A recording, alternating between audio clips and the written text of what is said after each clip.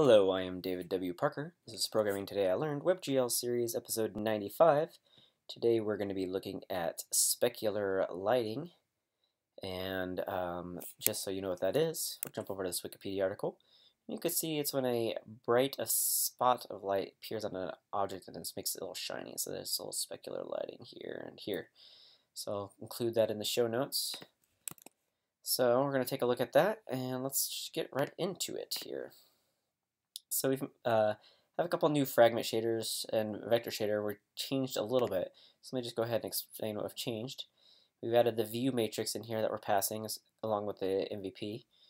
And here when we're calculating v position, we're actually going to use it based off the model view matrix, which is the view matrix times the model matrix times a position, whereas previously we were just multiplying the model matrix times the position. And uh, we've changed our lighting, obviously because we're going to be using uh, the view light uh, matrix in here as well. And so we have some new equations. I've left the older code down here commented out. You can see that, but um, let's just jump right into the equations. So we normalize our light just per usual, and as well as our light position. This time we're going to be using that view matrix though, which is why uh, we're going to be passing that uniform in. And so since we are using the view matrix, we need to have the model view being based off that as well. So that's part of why we did that.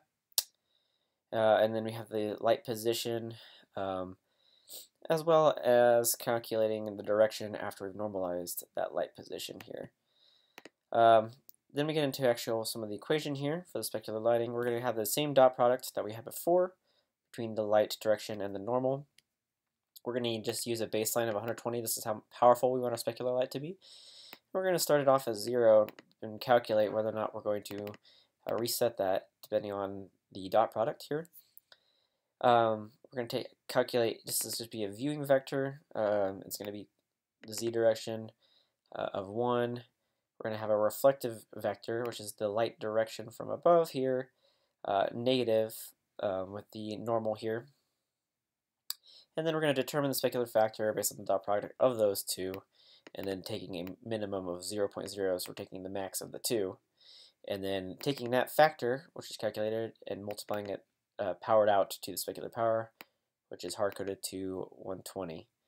And then we're finally going to go ahead and set a baseline color here, as well as the dot product, uh, excuse the baseline diffuse factor here from the dot uh, above.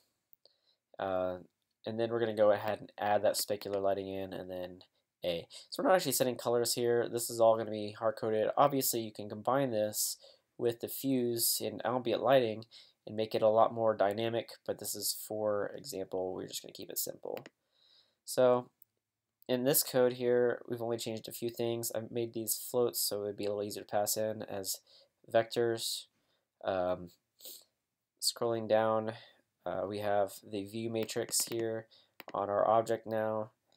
And like I said change these. And then finally also for the lighting mode we're going to set that view to the state view matrix here. And that's basically the only changes we've had to make. Uh, so then now when we're in here we have the cube and when we turn it you can see that we have the appropriate uh, lighting from that specular as it goes across the cube here so you can see the intensity and all that kind of stuff. So um, obviously if we rotate around, the lighting stays where it stays, so it's over there. So um, just a little nice little uh, specular light. So you can play with that, uh, make it set based off textures, change all that. We may do that in a later episode. Um, and that's it for this episode. If you like what you saw, go ahead and subscribe. Give me a like, uh, share this on social media if you will. Go to programmingtil.com and sign up for my newsletter. Have a great one. Talk to you later.